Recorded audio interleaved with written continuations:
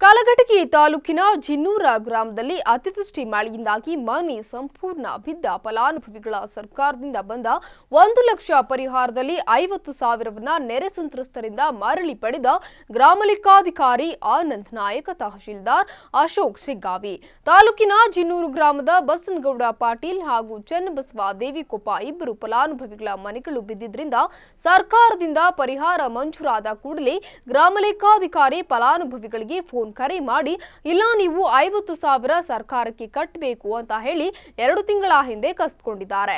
ಈ ಹಣವನ್ನ ಮರಳಿ ಕೊಡದಿದ್ರೆ ನಿಮ್ಮ ಜಮೀನು ಮನೆ ಮೇಲೆ ಸರ್ಕಾರಿ ಅಂತ ಮಾಡ್ತೇವೆ ಅಂತ ಹೆದರಿಸಿ ಹಣವನ್ನ ಕಸಿದುಕೊಂಡಿದ್ದಾರೆ ಅಂತ ನೆರೆ ಸಂತ್ರಸ್ತರಾದ ಬಸನಗೌಡ ಪಾಟೀಲ್ ಚನ್ನಬಸವ ದೇವಿಕೊಪ್ಪ ಆರೋಪಿಸಿದ್ದಾರೆ. ಈ ಬಗ್ಗೆ ತಹಶೀಲ್ದಾರ್ ಅವರನ್ನ ವಿಚಾರಿಸಿದಾಗ, ಇಲ್ಲ, ಫಲಾನುಭವಿಗಳ ಸಿ ಕೆಟಗೇರಿ ಆಗ್ಬೇಕಿತ್ತು.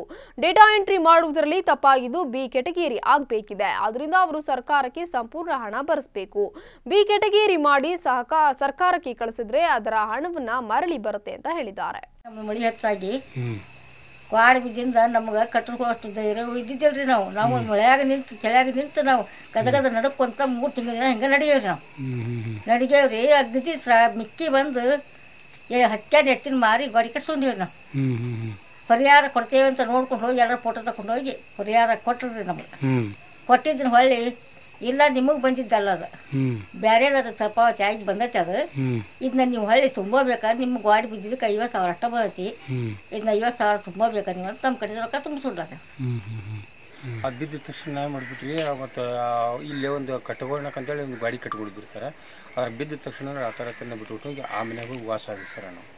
ವಾಸ ಆಗಿಂದ ನಾವು ಶಾನ್ ಬೋರ್ ತಂದು ಫೋಟೋ ಹೊಡ್ಸಿದ್ವಿ. ಹೊಡ್ಕೊಂಡು ಹೋಗಿರಿ ಹೊಡ್ಕೊಂಡು ಹೋಗಿ ಸರ್ ಅದು ಒಂದು ಲಕ್ಷ ರೂಪಾಯಿ ಜಮಾ ಆಕೈತೆ ಅಂತ ಹೇಳಿದ್ರಿ ಸರ್ ಅವರು. ಆ ರೊಕ್ಕ ಬಂದಿಂದ ರೊಕ್ಕ ಬಂದು ಇಪ್ಪತ್ತೈದು ಸಾವಿರ ರೂಪಾಯಿ ಸ್ಟಾರ್ಟಿಂಗ್ ಜಮಾ ಆತ್ರಿ ಸರ್ ಅದು. ಇಪ್ಪತ್ತೈದು ಸಾವಿರ ಜಮಾ ಆಗೈತೆ ರೀ ಹಿಂಗೆ ಜಮಾ ಆಗೈತಿ ಅವಾಗ ನಮಗೆ ತಲಾಟಿ ಏನು ಹೇಳಿದ್ರೆ ಇಪ್ಪತ್ತೈದು ಸಾವಿರ ರೂಪಾಯಿ ಕೆ ಸಿ ಬ್ಯಾಂಕ್ ಜಮಾ ಆಗೈತಿ ಬರೀ ಗೌಡ್ರ ಅಂತಂದ್ರಿ ಸರ್. ಆಯ್ತು ಬನ್ನಿರಿ ಸರ್ ಅಂತಂದೆ.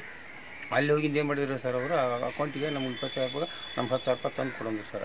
ಅವತ್ತು ಅವ್ನಿಗೆ ಹೋಗಿ ಹತ್ತು ಸಾವಿರ ರೂಪಾಯಿ ಕೊಟ್ಟನ್ರಿ ಹತ್ತು ಸಾವಿರ ಯಾರು ಯಾರು ತಂದು ಕೊಡಂದ್ರಿ? ಅವ್ನ ತಲಾಟಿನೇ ತಂದು ಕೊಡ ಅವ್ನ ಹೆಸರೇನು ರೀ ಅವ್ನು ಮೋಹನ್ ಅವ ಆನಂದ್ ನಾಯ್ಕ ಅಂತ. ಆನಂದ್ ನಾಯ್ಕ. ಹೌದು ಸರ್. ಹತ್ತು ಸಾವಿರ ಕೊಟ್ಟರೆ ನೀವು? ಹತ್ತು ಸಾವಿರ ಕೊಟ್ಟೆ ಹೊಳ್ಳಿ ರಿಟರ್ನ್ ನಮ್ಮ ಊರು ಹೇಳಿ ಕರ್ಕೊಂಡೋಗಿ ಆ ದುಡ್ಡು ಕಟ್ಟಿಸ್ಕೊಂಡ್ರಿ ಅವರು. ಯಾ ಯಾ ಯಾವ ದುಡ್ಡು ಕಟ್ಟಿಸ್ಕೊಂಡ್ರಿ? ಹೊಳ್ಳಿ ನಮ್ದು ಐವತ್ತು ಕಟ್ಟಿಸ್ಕೊಂಡ್ರಿ ಸರ್. ಏನು ಏನು ಐವತ್ತು ಕಟ್ಟಿಸ್ಕೊಂಡ್ರಿ? ಈಗ ನಮ್ಗೆ ಒಂದು ಲಕ್ಷ ರೂಪಾಯಿ ಹಿಂದೆ ಒಂದು ಇಪ್ಪತ್ತೈದು ಬಂತು ಸರ್ ಅದು. ಆಮೇಲೆ ಹಿಂದೆ ಎಪ್ಪತ್ತೈದು ಬಂತಿರಿ ಅದು ಹಾಂ. ಎಪ್ಪತ್ತೈದು ಬಂದಾಗ ನಾವು ಬಿಟ್ಟು ಮತ್ತೆ ಅವ್ರಿಗೆ ಹತ್ತು ಸಾವಿರ ರೂಪಾಯಿ ಕೊಟ್ಟಿದ್ದಂತೆ ನಿಜ ಐತೆ ಅಂತ ಸರ್. ಅಷ್ಟು ಹತ್ತು ಸಾವಿರ ಕೊಟ್ಟಿದ್ರಿ. ಹೌದು ಹ್ಞೂ ಬಳಸ್ಕೊಂಡಿವಿ ನಾವು. ಯಾರ್ಯಾರು ಕೊಟ್ರಿ ರೊಕ್ಕದನ ನಮ್ಮ ಊರಾಗ ಇನ್ನೊಬ್ಬ ನೇಕಾರ್ಪಿಕ್ ಅಂತ ಹುಡುಗದನ್ರಿ ನಾನು ಒಬ್ಬನ್ರಿ ಹತ್ತು ಸಾವಿರ ಕೊಟ್ರಿ. ಮತ್ತೆ ಮುಂದೆ ಏನಾತ್ರಿ? ಮುಂದೆ ಅವ್ರು ಏನು ಮಾಡಿದ್ರಿ?